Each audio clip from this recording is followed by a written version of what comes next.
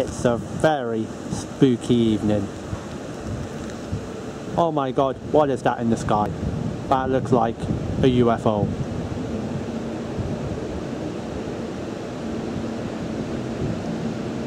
Definitely a UFO. As it gets closer, it might actually be a plane.